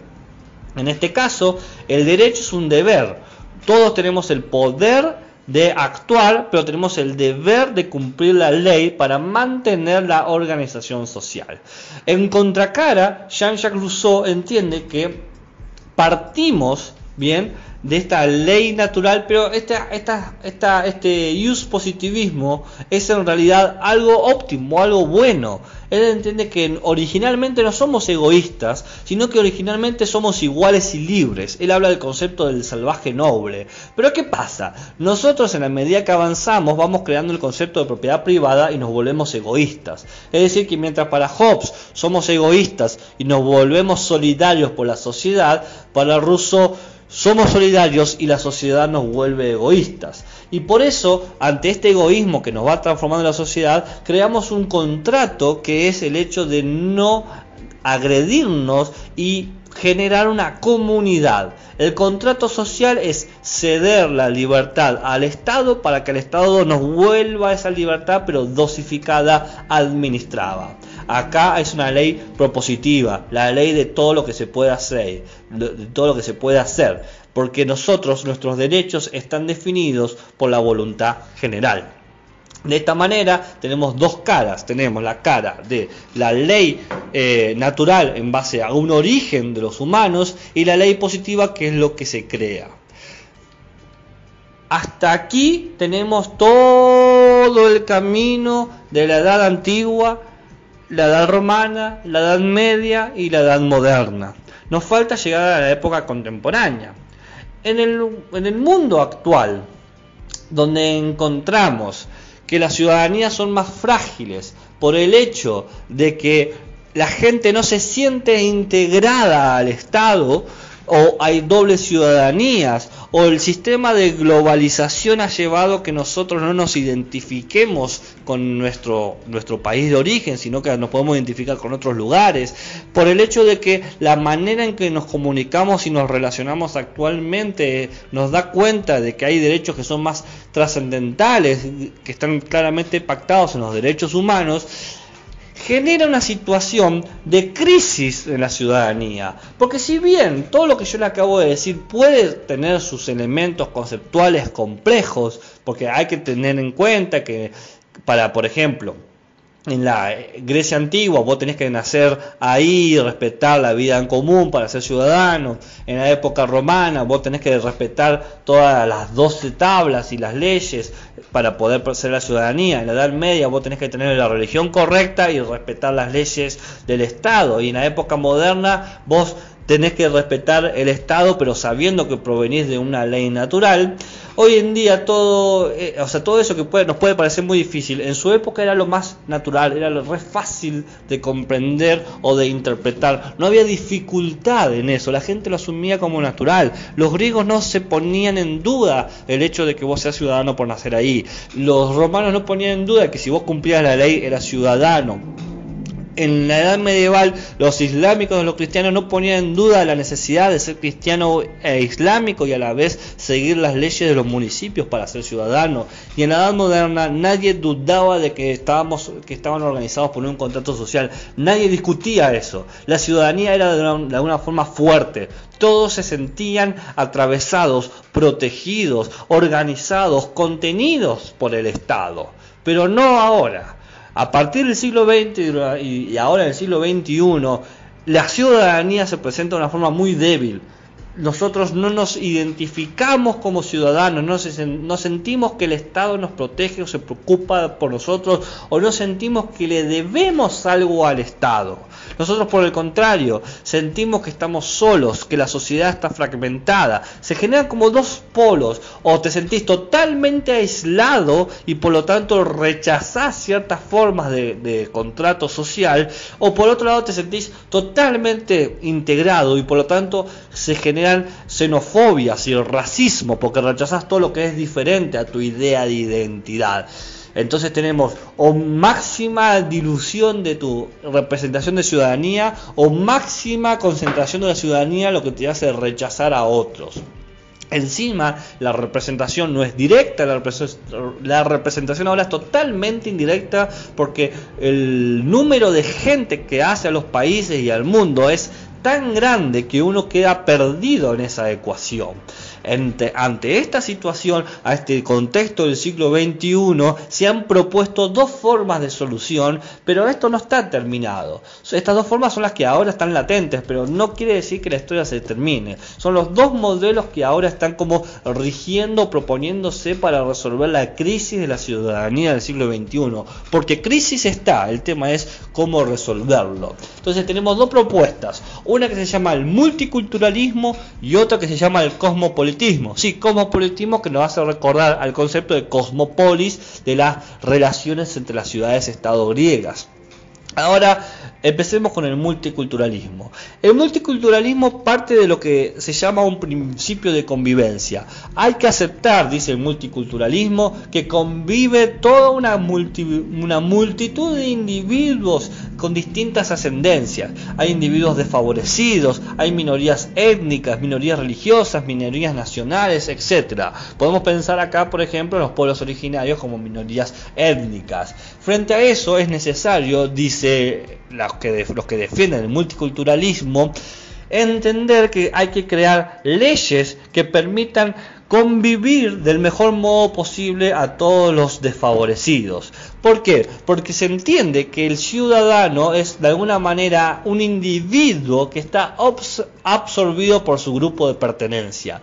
Para el multiculturalismo, vos no sos vos, vos sos en la medida en que perteneces a un grupo. Vos sos, qué sé yo, eh, de la comunidad LGBTQ vos sos de ascendencia eh, afroargentina, vos sos de ascendencia de los pueblos originarios, vos sos, eh, qué sé yo, mujer u hombre, vos sos, no, porque ya dije comunidad LGBTQ bueno, cisgénero transgénero, ahí está, vos sos vos te reconoces por el grupo al que perteneces y de esa manera se te genera una identidad en términos de lengua, de festividad, de historia, de símbolos patrios que puede o no coincidir con la identidad del Estado. Por lo tanto, la propuesta multicultural entiende que el Estado perjudica a todo aquello que no pertenece a la lengua, festividad, historia y símbolos patrios del propio Estado. Por ejemplo, el hecho de que se demanda como fechas patrias eh, X fechas para los para qué sé yo, el nacimiento de San Martín, la conmemoración de Sarmiento, el día del himno nacional, el día de la escarapela, etcétera, etcétera, etcétera, ¿no? Todos estos días patrios eh, imponen una identidad que mucha gente no, no, no quiere o no se siente interpelada. ¿No? Hay comunidades que no festejan días patrios porque no se sienten identificadas, pero el Estado, como es poderoso, perjudica eso. Por lo tanto, hay que crear leyes que permitan a esos otros grupos sentirse protegidos. Por ejemplo, la ley de que ciertas religiones no tienen por qué cantar el himno nacional. De este modo, se defiende un tipo de democracia representativa porque te tienen que representar a los otros, a todos aquellos que hacer al Estado, que son los ciudadanos más los desfavorecidos, más las minorías étnicas, más las minorías religiosas, más las minorías nacionales, etcétera, etcétera, etcétera, y eso se hace mediante leyes. Hay una construcción de leyes que define cómo podemos convivir. En la vereda enfrente está el cosmopolitismo, que parte de un principio de comunidad. Todos los humanos son ciudadanos del mundo, no importa tu religión, tu ascendencia ni nada. Acá la idea no es el individuo, sino los estados. Parte de la noción de que La globalización permite la idea de la paz entre todos y que la paz tiene que ser entre los estados. Relaciones internacionales de pueblos, no de ciudadanos, porque el ciudadano está destinado a contribuir, a responsabilizarse y a ofrecer un trabajo cooperativo por el bien común de, de toda la especie humana. Acá se habla de una perspectiva de federación de estados, de la unificación de los intereses y de las lealtades de la comunidad política del mundo, por ejemplo, los derechos humanos, por ejemplo, los derechos internacionales. Bien, se habla de esta necesidad de cuidarnos entre todos los humanos. Y ahora un breve recreo.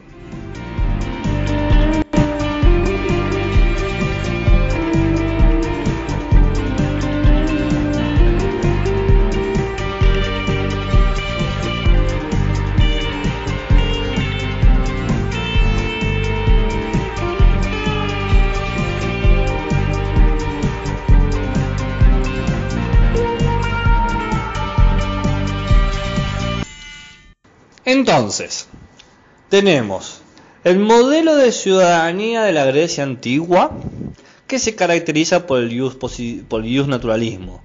Es ciudadano aquel que nace en la ciudad. Tenemos el modelo de ciudadanía del Imperio Romano, que es el ius positivismo. Es ciudadano el que cumple las leyes. Tenemos el modelo de ciudadanía de la baja de la Edad Media, perdón, que es ciudadano aquel que cumple la ley natural, ser de una religión específica, y la ley positiva, respetar las leyes de los municipios o del Estado. Y naturalismo más yo positivismo, lo que genera una tensión.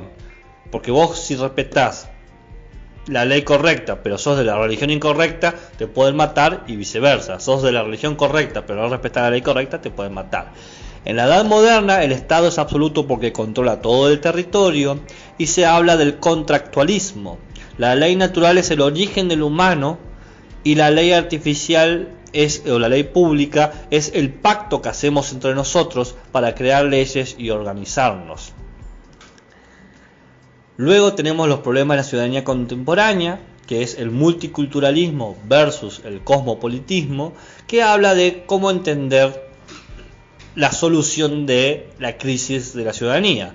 El multiculturalismo dice hay que crear leyes que garanticen la convivencia de todos los grupos diferentes y el cosmopolitismo dice que hay que crear leyes internacionales para mantener un equilibrio entre todos los poderes de los estados para que no haya países desarrollados y subdesarrollados o no desarrollados, sino que son todos sean todos países. En este punto, hemos visto lo que es la genealogía del Estado del ciudadano en unos términos muy abstractos, que quizás por eso puede generar conflictos y quizás por eso puede generar preguntas de ¿todo esto le tengo que enseñar a mis alumnos de primaria? La respuesta claramente es no. Pero es vital que comprendan esto, porque luego no se va a entender los conflictos que puede aparecer.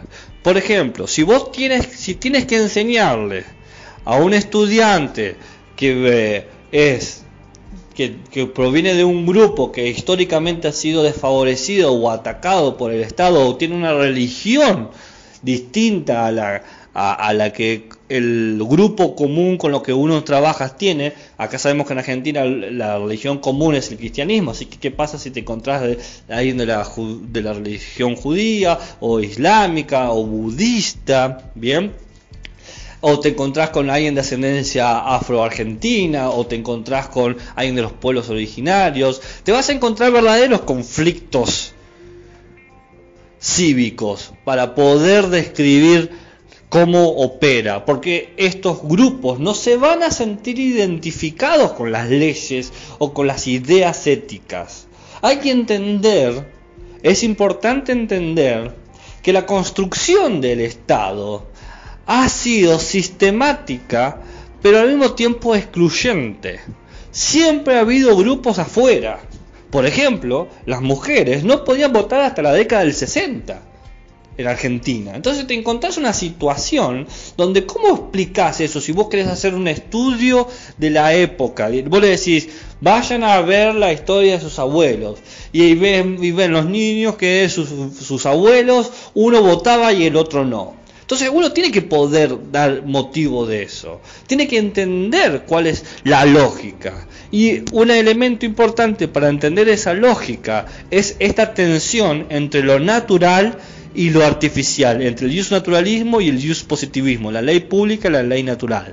Que es que todos los estados, a partir del Imperio Romano en adelante, empezaron a generar una discusión de a qué le presto atención, a la condición biológica del individuo o cómo siguen ciertas normas. Porque aquí en Argentina, por ejemplo, nosotros somos ciudadanos porque nacimos acá, te llaman, yo soy ciudadano, yo, nací en Argentina, por lo tanto soy argentino y por lo tanto tengo el derecho a la ciudadanía.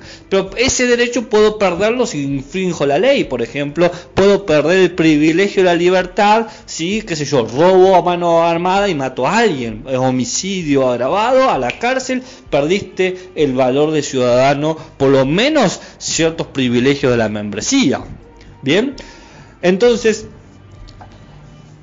¿A qué le estamos prestando atención? ¿A qué se le presta atención? Es forzoso tener que pensar en eso, detenerse en eso, porque esto no es gratuito y no es inocente. Sí, puede ser agotador, por eso hice la pausa. Puede ser extenuante. No digo que no. Y más de una vez puede ser confuso. Yo no pido que se sepan sistemáticamente cada uno de los conceptos que yo acabo de dar, pero sí que se comprendan estas ideas generales y esta tensión.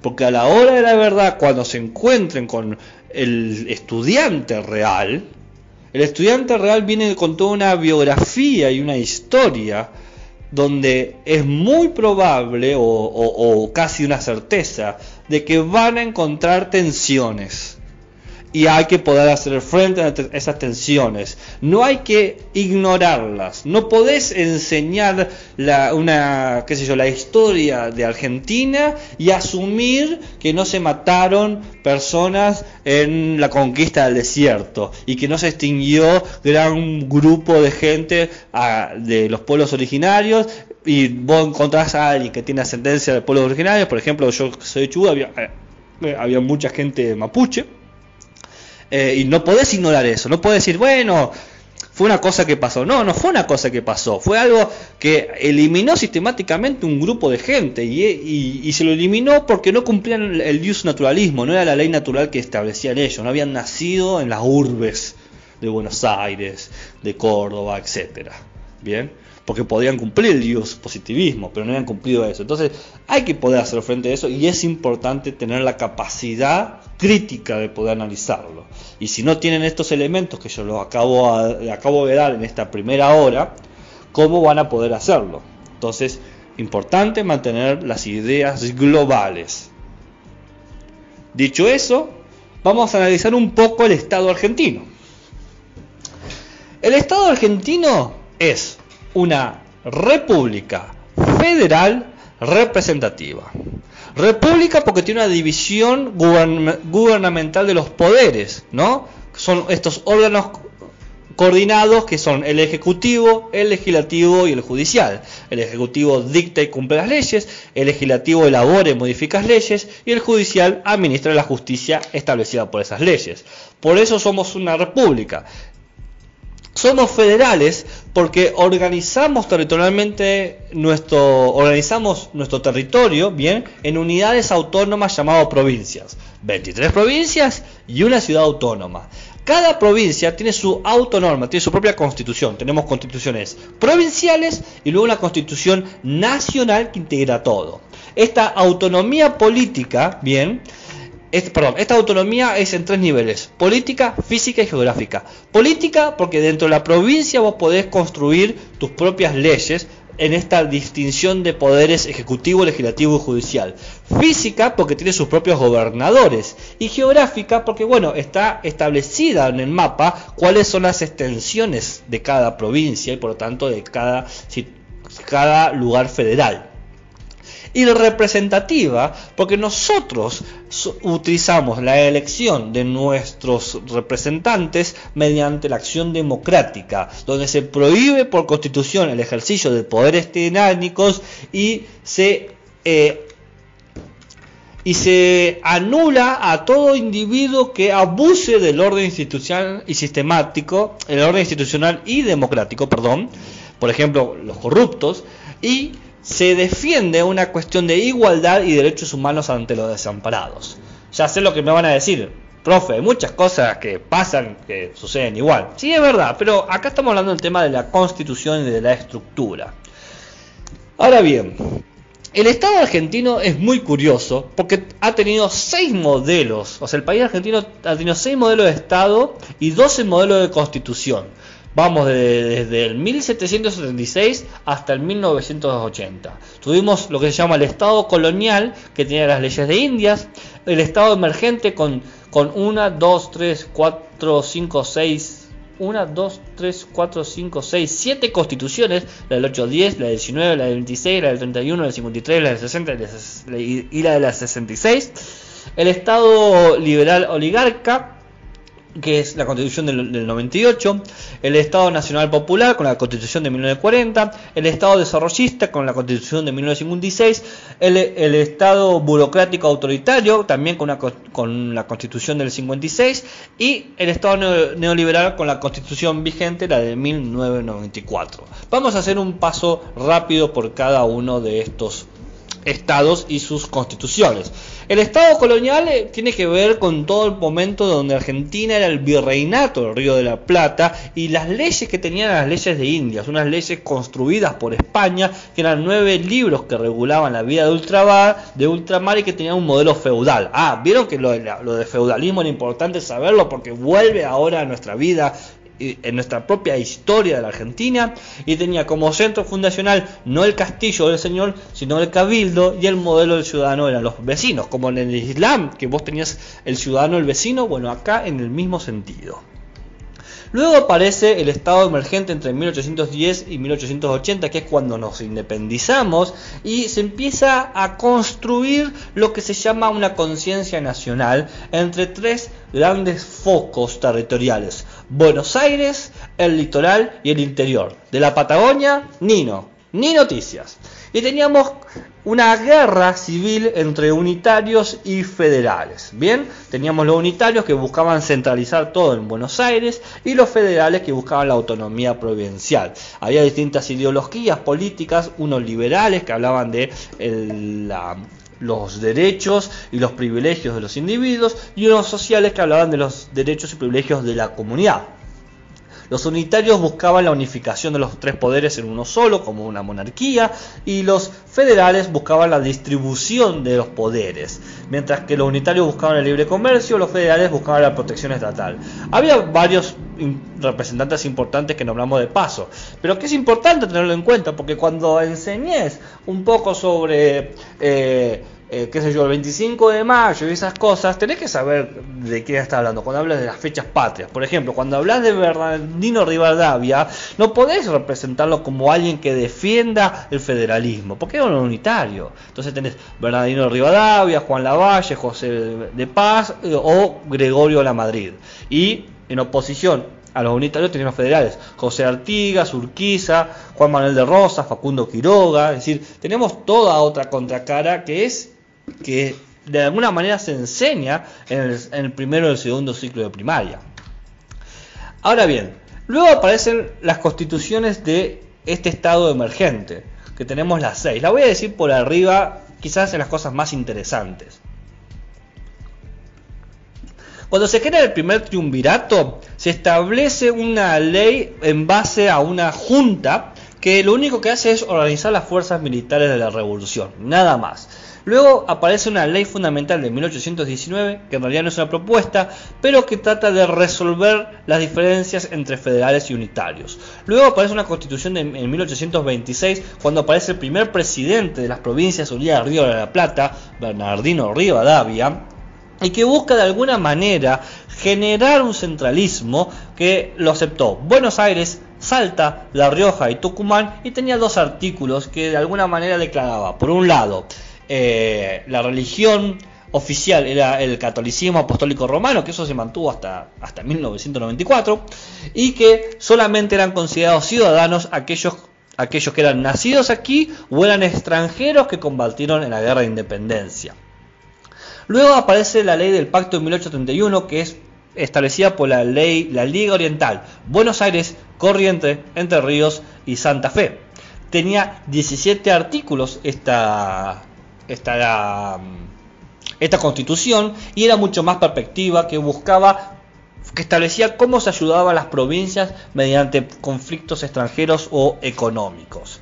Luego aparece la Constitución del 83 que rigió en todo el país, excepto en Buenos Aires, con 107 artículos y que fue promulgada por José de Urquiza. Tenía un carácter mucho más dogmático, operativo y garante porque buscaba establecer derechos, división de, de poderes y cómo se cuidaba y vigilaba a los ciudadanos. Acá nace el famoso mito de que se abría las puertas a los inmigrantes porque había en el artículo 25 la llamada de que todo inmigrante que venía a trabajar podía nacionalizarse como argentino. Y se puso un artículo muy curioso que es el artículo número 30, que hablaba de la imposibilidad de modificar la constitución nacional. Desde ya le digo que eso no se respetó. Luego aparece el Pacto de San José de Flores de 1860, que es, bueno, el resultado de la batalla Cepeda, que seguramente la conoce, que es la confederación, los federales contra Buenos Aires, gana el federalismo y crea esta constitución con 110 artículos que es una copia textual, una copia textual de la constitución estadounidense. o sea, agarraron la constitución de Estados Unidos, la copiaron y donde decía Estados Unidos, ¡pum!, pusieron Argentina. Y se pone por primera vez en 50 años el nombre oficial de Argentina. Es decir, desde 1810 que se independizó hasta 1860, Argentina no tenía nombre se empezó a llamar en 1860 Provincias Unidas del Río de la Plata, República Argentina y Confederación Argentina en el artículo 35. ¿Vieron qué importante es ver cómo avanzan las constituciones del Estado? Porque nosotros damos por sentado de que el nombre de Argentina siempre fue Argentina en 1810 y tardó 50 años, una guerra civil por medio y un y todo una un combate entre federales y unitarios para hacer el nombre que es. Ahora se entiende un poco que la identidad nacional tardó, empezó a, a, surgir, tardó en, en, surgir mejor, porque desde que surge en 1810 el país hasta 1860 no había un nombre, entonces, ¿dónde estábamos viviendo? ¿Dónde estábamos viviendo? Y se crea lo que se llama esta nación argentina y se la reconoce como un sujeto político. La nación es algo superior a todos los individuos. Y se crea una interesante ley para anular la constitución de 1853, que es la ley 234, que hay una posibilidad de reformar la constitución, que si es necesario, la constitución cambia. Pero, si bien ganamos un nombre, no ganamos una capital, porque en el artículo 3 dice próximamente se va a definir la capital del país. o sea, tenemos nombre, pero no tenemos capital. Una maravilla. La historia argentina está llena de colores. Es decir, que desde 1826 se definió que la religión oficial del país era el catolicismo, pero no, se, no, había nombre del país. Y en 1860 se da nombre del país, pero no se da capital. Eh, Argentina, damas y caballeros. En 1866 en 1866, se reforma la constitución, bien, eh, bajo la presidencia de Mitre, y se ponen ciertos controles sobre los impuestos. Se crea una cuestión muy curiosa, que es el hecho de que ahora podemos poner los impuestos que necesitamos, ahora ¿Quiénes podemos? Eh, los gobernantes. Los gobernantes pueden crear los impuestos que les gusten y que, y que encima se define, se define ¿Quién administra estos impuestos? Bien, ¿y quién administra estos impuestos? La nación. En su capital próximamente. Ok. Eso fue hasta 1880. Qué viajecito, ¿eh? Pasamos por seis constituciones diferentes, ganamos un nombre, ganamos el federalismo, porque son la Argentina federal, pero, pero no obtuvimos capital. Pero también ganamos una religión, así que qué sé yo. Una de cal y otra de arena.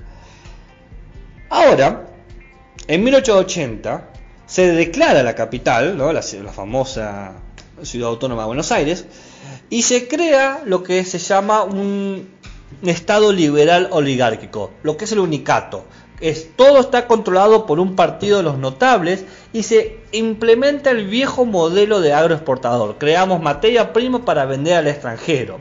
Y se entiende que con la educación pública se puede crear la identidad nacional. Es decir, que a partir de 1880 Ética y Ciudadanía, con distintos nombres, pasa a ser parte de la currícula de los estudiantes. La ciudadanía se ha enseñado como materia para generar una identidad, para que la gente se sienta identificada por este país que recién hace 20 años tuvo su nombre, Provincias Unidas del Río de la Plata, República Argentina y Confederación Argentina.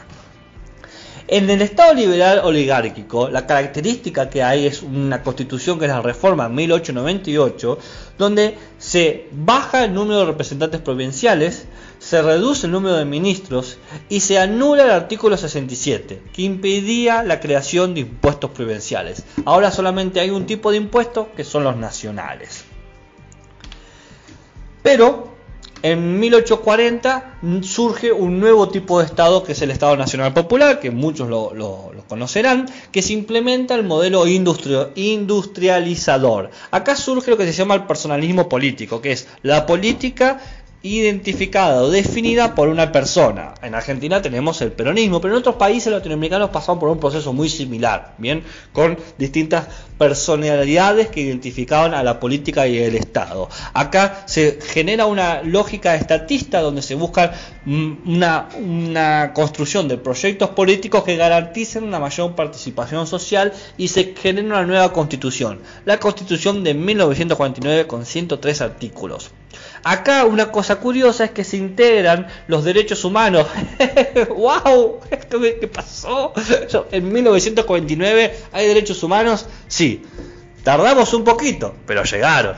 Bien, y se establece un derecho en el artículo 38 que dice que la propiedad privada es una función social, es decir, que cada familia tiene que tener su casa. Después está el artículo 37 que habla de derechos trabajadores, el artículo 26 donde se permiten las reuniones, recordemos que en el, en el, entre 1880 y 1940 había libertades civiles, pero no libertades públicas. La gente podía hacer lo que quiera, excepto ser gremios. Ahora sí se podía hacer gremios. El artículo 28 habla de que estaba prohibido discriminar. Y el artículo 80 habla del voto directo. Oh, podemos votar, qué maravilla. Y luego pasamos al Estado desarrollista. Revolución Libertadora, que si bien el nombre es bonito, el acto es horrible porque es un golpe de Estado que dura entre 1960 y 1970, son 10 años. Un Estado sumamente intervencionista y mal que pese es donde se crea la administración pública argentina de forma como la conocemos hoy. La administración pública, la burocracia que ustedes conocen, es consecuencia del Estado que va de 1960 a 1970. Bien, o sea, es el producto de eso. Bien, hasta hace, hasta antes había claramente una burocracia, pero no estaba tan refinada. Entonces se genera toda esta nueva producción de refinamiento burocrático y normas gubernamentales a partir de la reforma de 1956, donde se, primero se anula la constitución del 49, se reinstaura la constitución del 1898, ahí dice, está mal, dice 1989, pero es 1889, y se anulan un montonazo de artículos que son los que acabo de decir. Se anula el artículo que habla sobre, qué sé yo, eh, la propiedad privada, se anula el artículo que habla sobre el derecho a la reunión, se anula el artículo que habla de los derechos de los trabajadores, etcétera. O sea, se anulan muchos derechos una maravilla. Luego aparece lo que sería la última dictadura con el funcionamiento del Estado burocrático autoritario, con la burocracia funcionando como un relojito, aparece esta nueva dictadura que va entre 1970 y 1980, que acá hay una... opera lo que se llama una hipótesis de guerra interna, bien, que es que el enemigo está por las calles y el Estado está altamente militarizado todos los lugares de poder, todos los ministerios están ocupados por los estados mayores de las Fuerzas Armadas Argentinas. Están ocupados estas personas y generan una nueva forma de dominio sobre el ciudadano argentino que es el, control directo, a la vez que se abre hacia el liberalismo, al a, a la cuestión de que el mercado es libre y que cada uno vende o compra lo que quiera. Es decir, había libertad de mercado, pero no libertades políticas. Y bueno, llega la democracia, 1980, entre 1980 hasta hoy, 2020, es decir, 30 años, surge el Estado neoliberal. Accedemos por la puerta grande al mundo globalizado mediante el endeudamiento y las políticas de ajustes entra en crisis la idea del estado del bienestar que nosotros que el estado te puede proteger y se empieza a restaurar la democracia y se industrializa la sociedad mediante la demanda interna. Es decir nosotros creamos industria en la medida que la necesitamos no en la medida que vendemos. Ya ahora el estado cambia sus medidas porque ahora el estado deja todo el, trabajo al consumidor y al manager y se privatizan muchas empresas públicas. Cualquiera que haya vivido la primera y segunda presidencia de Menem lo sabe de primera mano. Está el famoso Pacto de Ligos de 1994 que yo me había olvidado, eh, que yo me había olvidado qué año era, y eh, en el audio anterior, y se incluye la última generación de los derechos humanos. Qué bueno, ahora hay derechos humanos de última generación. Por ejemplo, se reactualiza el sufragio universal secreto y obligatorio y se crea lo que se llaman los organismos de control justamente para evitar el autoritarismo. Historia de San Juan, eh, perdón, historia de Argentina interesante si las hay, porque tardamos un poco en conseguir las cosas que hoy damos obvias. Pero si no se conoce esto, si se da por sentado, te lo pueden quitar fácilmente.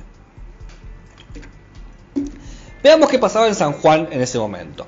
Durante el Estado colonial se fundó San Juan de la Frontera en 1562 y se refundó en 1593. ¿Por qué? Porque bueno, San Juan fue arrasado por el río. Antes San Juan era una delegación que conectaba Córdoba con otras delegaciones. Bien. Pero tenía, junto con Mendoza, el único territorio que podía cultivar permanentemente. Entonces, por mucho tiempo, entre 1776 y 1810, San Juan era una delegación controlada por Córdoba por sus cultivos. Pero surge el Estado y en 1820, con el Estado emergente, San Juan gana autonomía, se convierte en provincia. ¡Eh! En 1821 tiene su primera junta y tiene un gobierno con nueve representantes, no uno, sino nueve gobernadores al mismo tiempo. Y en 1870 se establece la primera división departamental. Desamparados, Trinidad, Santa Lucía, Posito, Marquesado, Albardón, Angaco Norte, que sería el Angaco actual, Angaco Sur, que sería San Martín, San Isidro, Caucete, La Huerta, Valle Fértil, Hacha, Iglesia, Gualirán, Calingasta, Guanacache, 25 de mayo y Pedernal. Si, si te faltan algunos es porque todavía no existían. Durante el régimen del Estado liberal oligárquico, acá toda la política en San Juan estaba controlada económicamente por 20 familias de 20 firmas de bodegueros. Pero ¿qué pasa? En 1894 hay un gran terremoto que destruye la organización de la, ciudad, que era el damero español, y se reconstruye igual al damero, se construye la ciudad exactamente igual, y se empieza a incluir el ferrocarril. Acá había dos clases sociales, una élite social que era parte de los bodegueros y toda la clase trabajadora que trabajaba en la parte rural o clase media.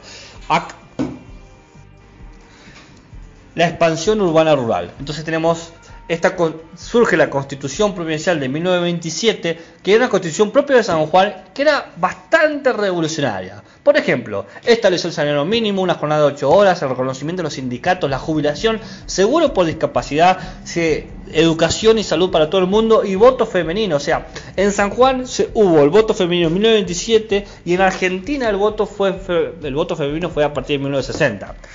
Interesante para enseñar a los a los futuros ciudadanos de primaria sobre cómo era San Juan en su época. Luego en el Estado Nacional Popular surge, sucede quizás lo más importante, que es el gran terremoto que destruye el 95% de toda la ciudad, dejando sin casa el 80% de la población y que tardó en reconstruirse la ciudad 18 años, entre 1954 y 1962, y 7 planes de reconstrucción de la ciudad, quedando totalmente eh, anulada por 18 años la ciudad, eh, inutilizado el, aparato gubernamental, está mal escrito, dice aparto, no dice aparato, debe decir ahí. Y acá había una constitución provincial que fue eh, la de 1949, que fijó estándares de trabajo específicos sobre el peón rural. Y luego llegamos al estado desarrollista, entre 1960 y 1970, que estaba la vea electoral sobre el peronismo, pero en ese proceso San Juan prometía ser una ciudad ultramoderna. Bien, pero el resultado fue que se construyó una ciudad bastante parecida a la que se cayó y no había o había muy pocas placas de los edificios públicos que se habían perdido. Luego, entre 1970 y 1980, durante el momento intervencionista, San Juan estaba intervenida y tenía un gobernador definido por, por Buenos Aires, eh, por el Estado Militar de Buenos Aires, seguía la veda electoral, pero en 1973 una cosa positiva es que se crea la Universidad Nacional de San Juan y en el 84 el departamento de Rawson es declarado ciudad con su asiento en Villa Clause y llegamos al Estado neoliberal 1980-2020.